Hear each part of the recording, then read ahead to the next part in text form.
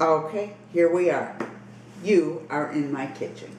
And we're gonna call today Kitchen Table Talk. Cause at the end of the tour of my studio, I usually bring people in here and say, would you like to have something to drink? So grab a cup of coffee, because I'm gonna grab the cup of coffee as if you were here, and we're gonna have some kitchen table talk. This is number ten of my ten-part series.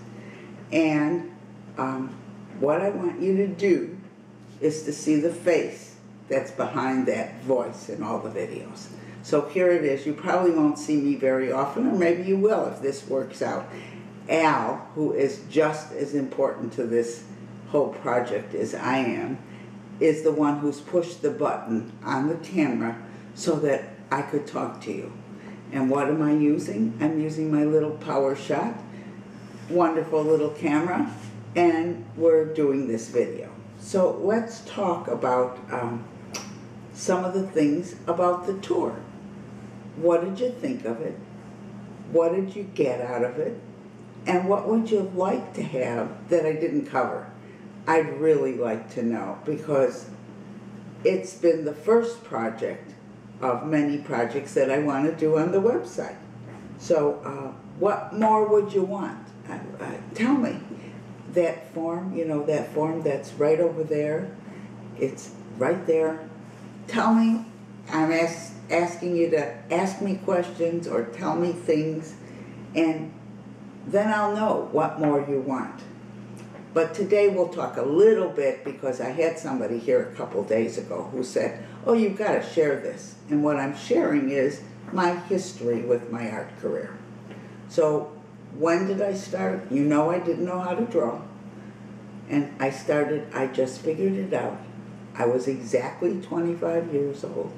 And today I'm almost 75 years old. So I started 50 years ago.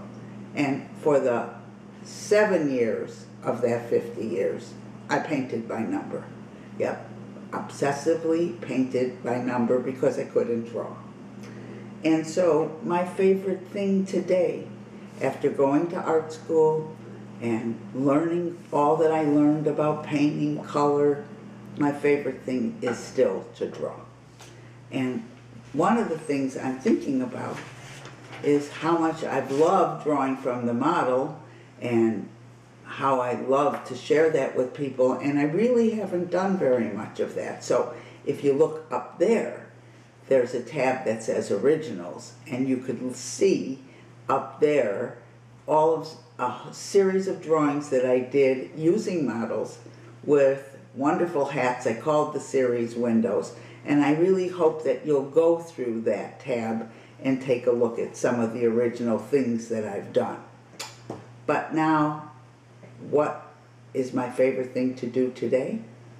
Well, besides drawing from the model, one of my favorite things is drawing on my iPad. I love using this iPad. I love drawing, and I draw on it every day or every day that I can. So that's one of my favorite tools. My other favorite tool is the, I can't show it to you because it's doing this video, is that little SX 210 PowerShot Canon camera that sits in my purse and I run around, take pictures of things that I love, and then I paint from them. So my plan for my next series, I'm going to tell you after I tell you about my favorite experience in my art career. In 1986, Al was working in Beijing, China. He was one of the first Americans to work in that country, and there were no, at that time, independent business people. Um, China didn't allow that then. And one of the things he did for me, because he had this open visa and was able to go all of the time, was he took me on a trip where he asked me not to embarrass him, not to get him in trouble, because he was on this special visa. And he took me to Beijing when Beijing was in its infancy of its growth. It certainly wasn't the Beijing that exists today. It had one American type hotel that had just been built. It was the Sheraton, and we actually stayed there. But my thrill of the whole experience was uh, we went to what's called, let me look, I wrote a note about it. It was the China Fine Art Gallery and beautiful museum. We and I went into the gift shop and there were some paintings that I loved and they were a little more modern than most of the paintings that you see out of China. And so I asked someone who spoke English, which was a rarity at that time, and asked someone to direct me to the master who painted that painting that I loved.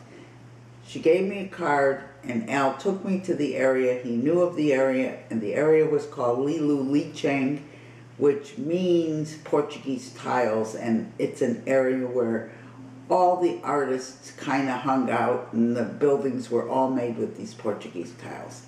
I walked in, I presented the card to a person who was at the front. There was only one person. She ran behind a curtain, came out with another lady. They bowed and bowed and bowed and then asked me how I knew their master. And I explained that I had seen the painting, and so they said, Well, our master isn't here, but his disciple is, and they would love for me to meet his disciple. And so they invited me in, sat me down, and out came this 18, 19 year old young man who was so excited. I can still, at this moment, see the expression on his face when he walked through a different curtain to come and meet me. And he asked if he could have tea with me, and then this is all through an interpreter, and then could he paint something for me? And he painted a wonderful horse painting using his Chinese ink and brush. And then I thought, I can't embarrass Al, but I would really like to reciprocate, so I quietly asked if I could do something to give to him. They gave, I asked for a piece of paper, they gave me a piece of rice paper, and I had a pencil. Well, not being Chinese, I didn't know rice paper and pencil do not work together.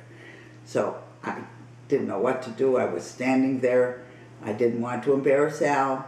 So I noticed that there was a pot of ink that he had just used and that Chinese brush that he had just used. And I asked with um, hand signals, could I use that?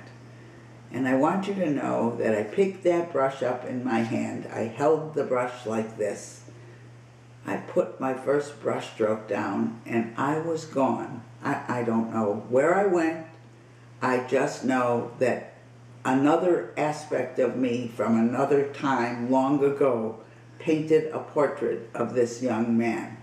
And I was like the holder of the brush, but I don't know that I was the mover of the brush.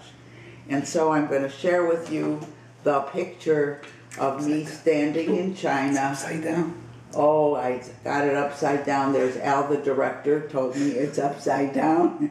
And now I'm to turn it this way so you could see. I will post a picture of it. There I am, Beijing, China, painting gone, totally gone. Now I'm going to, so you can see me again. I just had the best time.